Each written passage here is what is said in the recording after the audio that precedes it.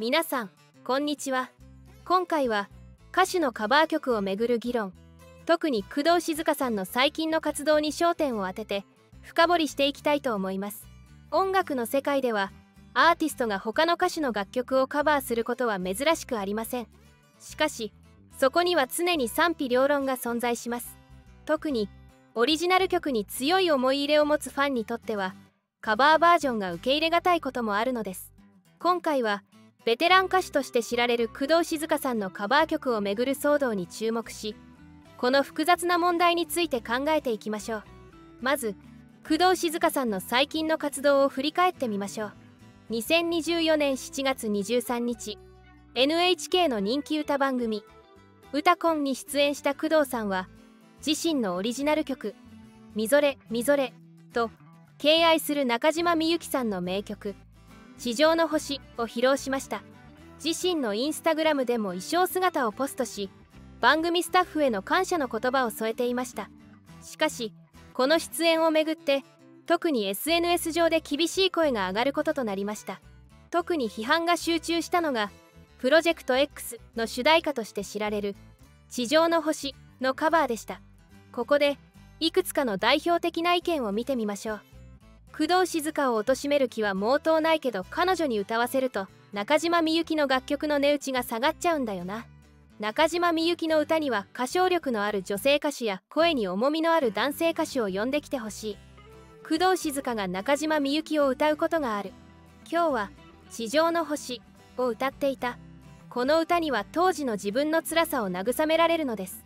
工藤静香にはふさわしくない。歌ってほしくない。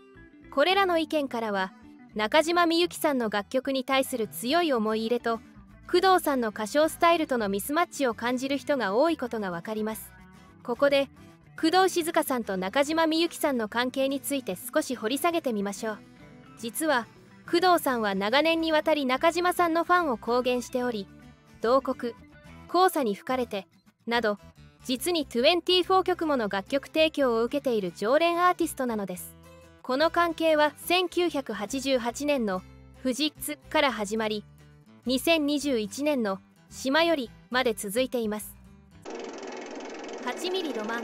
さらに2008年に放送された「ソングスでは中島さんから工藤さんへ心温まるメッセージが送られ工藤さんが感動の涙を流す場面もありました。このように2人の絆は決して浅くないものの中島みゆきファンの中には複雑な思いを抱く人も少なくないようです。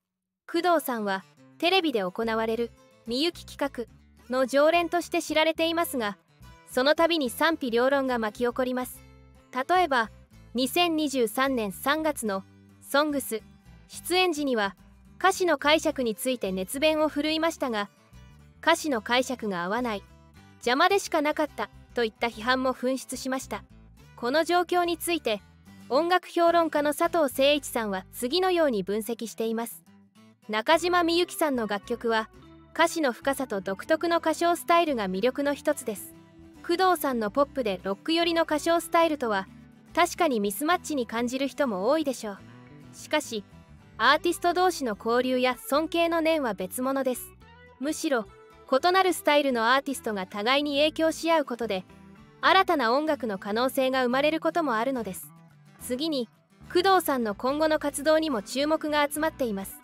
8月22日に NHKBS で放送予定の音楽番組「ザ・カバーズ」への出演が決定しここでも話題を読んでいます。この番組ではパリ五輪開催に合わせて世界中で愛されるアニメソングを特集。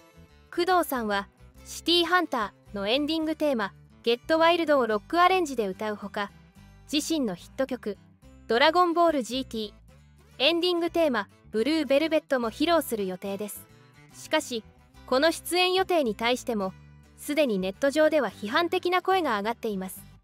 ゲットワイルドの世界観を壊して歌ってほしくない。漫画やアニメや映画全て見て好きだっていうのなら歌い上げてくれると思うけどそうじゃないならシティーハンターには手を出さないでほしい。NHK って工藤静香好きだよな。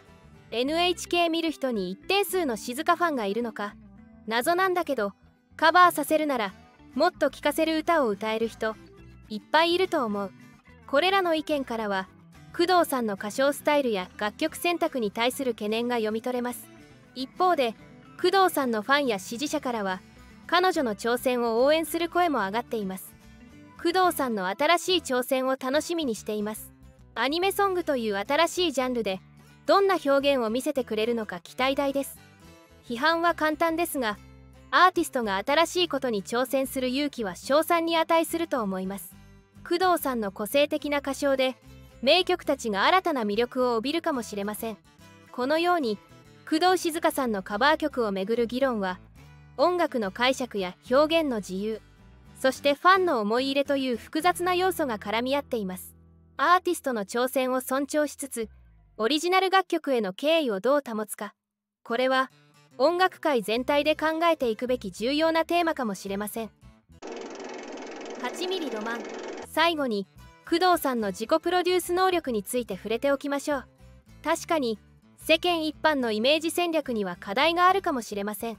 しかし長年にわたり第一線で活躍し続けている事実は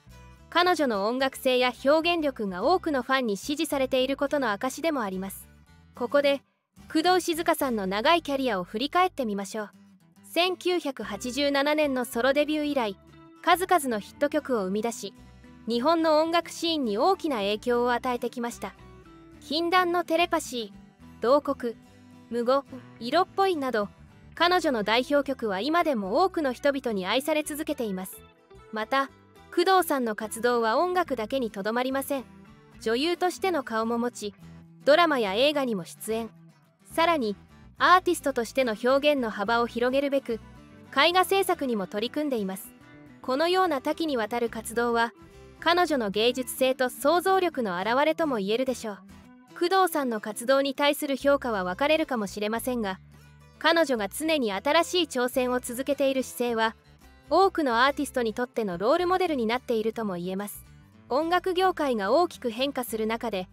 自身のスタイルを貫きつつ時代に合わせた表現を模索し続ける姿はまさにベテランアーティストの鏡と言えるでしょう。今後工藤静香さんがどのような活動を展開していくのかそしてそれに対して世間やファンがどのような反応を示すのか注目が集まります。アーティストとしての挑戦とファンの思いのバランスを取ることは決して容易ではありませんがこの議論を通じて音楽の多様性や表現の自由について私たちも一緒に考えていければと思います。またこの騒動は音楽業界全体に対する問いかけでもあります。アーティストの表現の自由とオリジナル楽曲への敬意のバランスをどう取るべきかファンの思いと新しい解釈や表現をどのように両立させていくべきかこれらの問題は音楽という文化がより豊かに発展していくための重要な課題となるでしょう。皆さんはこの問題についてどのようにお考えでしょうか？カバー曲に対する思いアーティストの挑戦をどう評価するか。ぜひコメント欄でご意見をお聞かせください。また今回の動画の感想や今後取り上げてほしいトピックがありましたらぜひお寄せください。最後になりましたがこの動画が少しでも皆様のお役に立てたなら幸いです高評価チャンネル登録をしていただけると今後のコンテンツ制作の励みになりますご視聴いただきありがとうございました。